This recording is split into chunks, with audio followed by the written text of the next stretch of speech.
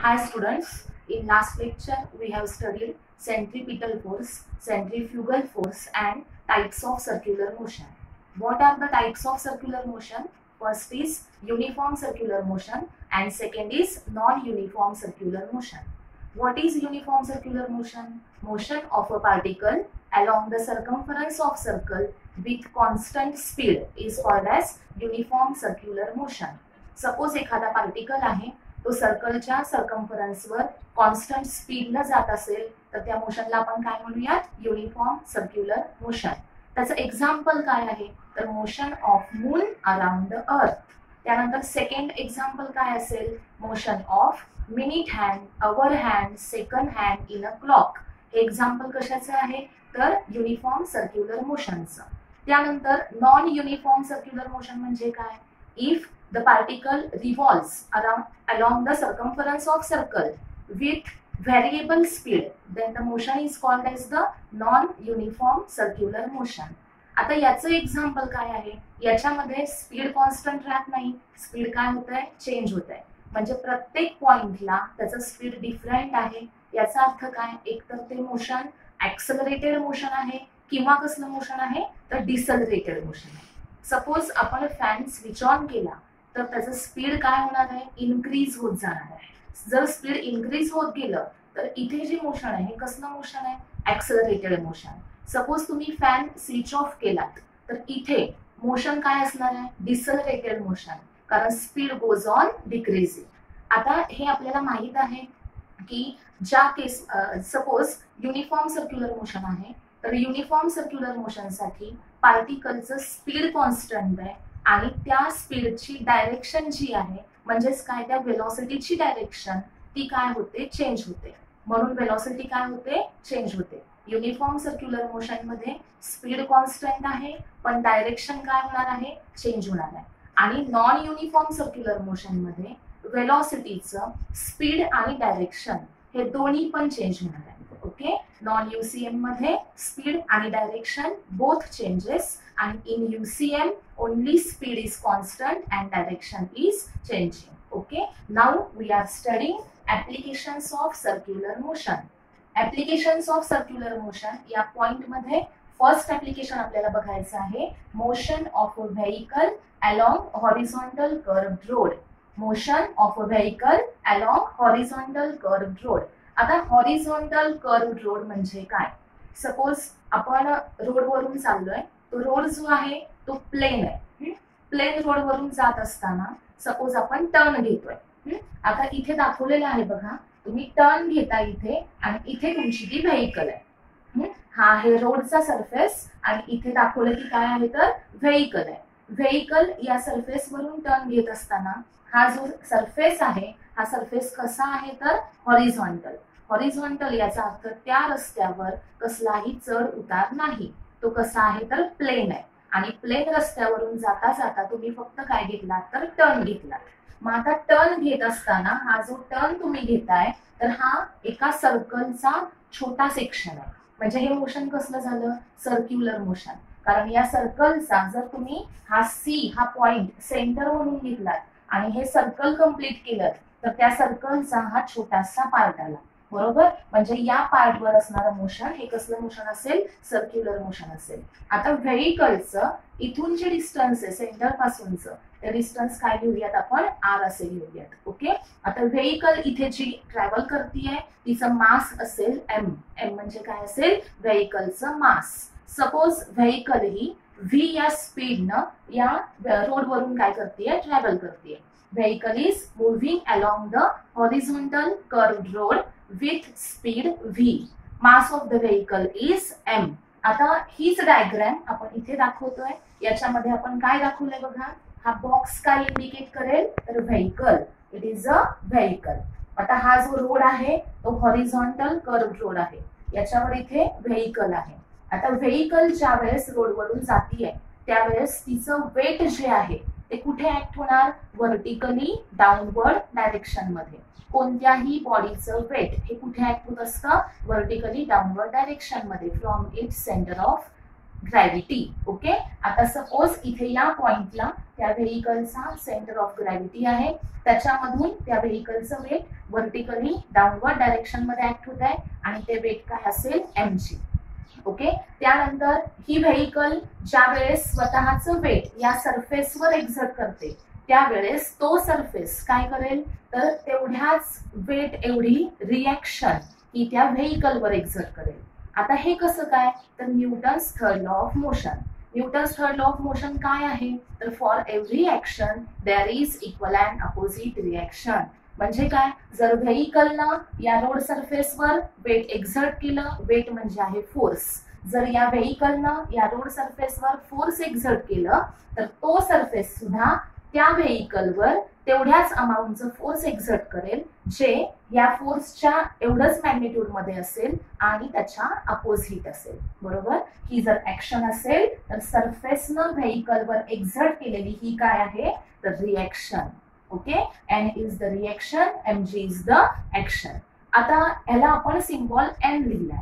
N का लिहिलं? तर नॉर्मल रिॲक्शन नॉर्मलचा अर्थ काय? तर परपॅन्डिक्युलर आता ही जी रिएक्शन एक्झर्ट केली सरफेसनं ही सरफेसला कशी आहे? तर परपॅन्डिक्युलर आहे.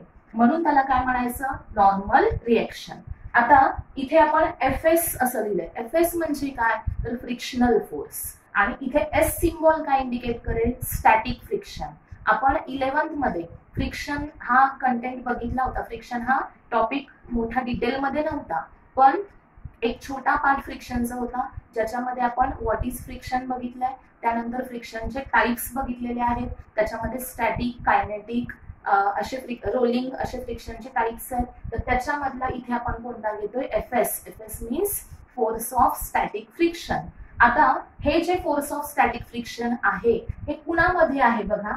इथं जी व्हेकल आहे त्या व्हेकलचे टायर आणि खाली जो रोड आहे त्या रोडचा सरफेस व्हेकलचे टायर आणि रोडचा सरफेस या दोघांच्या मध्ये कसलं फोर्स आहे? Force of static friction okay आता फोर्स ऑफ स्टॅटिक फ्रिक्शन आता सपोज व्हेकल इकडे टर्न घेतीये तर टर्न इथे आपण बघू शकता व्हेकल असा इकडे टर्न घेणार आहे. तर या केसमध्ये आपण फ्रिक्शनल फोर्स इकडे दाखवतोय. या लाईनवर दाखवतोय आणि टुवर्ड सी दाखवतोय. हे असं का? तर काल ह्याच्या आधीच्या लेक्चरमध्ये सेंट्रिपिटल फोर्सचे एक्झाम्पल्स मी सांगितले होते. त्या सेंट्रिपिटल फोर्सच्या एक्झाम्पलमध्ये एक एक्झाम्पल असं होतं. की when vehicle moves along a curved road, the necessary centripetal force is provided by the frictional force. Okay आता या व्हेकलच्या या सर्क्युलर मोशनसाठी जे सेंट्रिपिटल फोर्स नेसेसरी आहे सेंट्रिपिटल फोर्स कुठे असणार? टुवर्ड्स द सेंटर आता हे जे सेंट्रिपिटल फोर्स मोशनसाठी नेसेसरी आहे ते कुठे असेल? टुवर्ड्स द सेंटर असेल. म्हणजे टुवर्ड्स कुठे असणार? सी असणार. बरोबर? हे सेंट्रिपिटल फोर्स कोणाकडून प्रोव्हाइड केलं जातं? फ्रिक्शनल फोर्स करून म्हणजेच काय? The necessary centripetal force is provided by the frictional force F S what is F S force of static friction इथे सगळ्यांच्या लक्षात आलेलं का बघा? की या व्हेकलवर ऍक्ट होणारे तीन फोर्सेस आहेत. फर्स्ट आहे व्हेकलचं वेट एम जी सेकंड आहे normal reaction exerted by the surface on the vehicle आणि थर्ड आहे F S F S means force of static friction आता सपोज आपण असं म्हणूयात की ही व्हेकल जी आहे ती इक्विलिब्रियममध्ये आहे. ओके तर एन इक्वल टू काय असेल? M G N equal to M G असं का आलं? Total upward force equal to काय असणार आहे? Total downward force therefore N equal to M G this is first equation त्यानंतर एफ एस इक्वल टू आपण म्हणूया F C P F S equal to F C P F S म्हणजे काय? तर frictional force आणि F C P म्हणजे काय? Centripetal force असं का म्हणतोय आपण? कारण फ्रिक्शनल फोर्स इक्वल टू इथं काय आहे तर? सेंट्रिपिटल फोर्स आहे. आता सेंट्रिपिटल फोर्सचा फॉर्म्युला काय असतो? तर N V square upon R F S equal to centripetal force equal to काय असेल M V square upon R this is equation number second आता याच्यामध्ये बघा एम म्हणजे काय? Mass of the vehicle R म्हणजे काय? रेडियस ऑफ द कर्व्हेचर आता बघा आर आर म्हणजे हे डिस्टन्स व्हेकल आणि हे सेंटर यांच्यातलं डिस्टन्स काय आहे? तर आर आता हे जे डिस्टन्स आहे ते चेंज होणार आहे का? नाही. म्हणजे कर्वेचरची रेडियस ही कशी आहे? कॉन्स्टंट आहे त्या रोडसाठी बरोबर? आरची व्हॅल्यू कॉन्स्टंट आहे. एम म्हणजे काय? तर mass of the vehicle suppose व्हेकलचं mass five hundred K G असेल तर ती व्हेक त्या व्हेकलचं मास या मोशनसाठी कॉन्स्टंट असणार ना? मास चेंज होईल का? नाही. म्हणजे एम ची व्हॅल्यू आर ची व्हॅल्यू या दोन्ही व्हॅल्यू कशा असतील? कॉन्स्टंट असतील. म्हणजे एफ एस ची व्हॅल्यू डिपेंड कुणावर आली? व्ही वर. अर्थ की फ्रिक्शनल फोर्स हे डिपेंड कुणावर आहे? व्हेकलच्या स्पीडवर डिपेंड जर व्हेकलचं स्पीड जास्त असेल तर फ्रिक्शनल फोर्सची व्हॅल्यू जास्त असणार. If V goes on increasing then F S also goes on increasing if V goes on decreasing, then Fs also goes on decreasing. Suppose V is maximum, then Fs is also maximum. Therefore, Fs max, Fs max is equal to काय असेल M into V max bracket square upon R. M into V max square upon R. त्यानंतर F S max equal to M V max square upon R असं आपण लिहिलोय तर इथं आपल्याला माहिती आहे की फ्रिक्शनल फोर्सची मॅक्झिमम व्हॅल्यू ही किती असते तर mu S into N F S max ही व्हॅल्यू किती असते mu S into N which is equal to M into V मॅक्सचा square आणि अपॉन काय असेल R fs max equal to m into vmax square upon r. fs max is equal to mu s into n which is equal to m into vmax square upon r. आता याच्यामध्ये mu S into N आता N म्हणजे काय आहे बघा? Equation one equation one वरून आपल्याला काय समजतं? इक्वेशन वनमध्ये एन इक्वल टू आपण एम जी लिहिलं बरोबर? ती N equal to M G value जर इथे पुटअप केली तर काय येईल बघा? सपोज म्यू एस एन ची व्हॅल्यू किती पुटअप करायची आपल्याला? एम जी कुठून आली ती? इक्वेशन वन वरून is equal to mu S into M G is equal to M into V max square upon R आता दोन्ही साईडला एम आहे तो एम काय झाला? कॅन्सल झाला. Mu S into G is equal to V max square upon R therefore V max square is equal to mu S into r into g therefore v max equal to root मध्ये mu s into r g दोन्ही साईडला इथे आपण काय घेतलं route घेतलं v max ची value काय मिळाली under root R G that is mu R G what is mu coefficient of static friction r radius of the curvature and g acceleration due to gravity this is the maximum safety speed of a vehicle along curved horizontal road this is maximum safety speed of a vehicle along curved horizontal road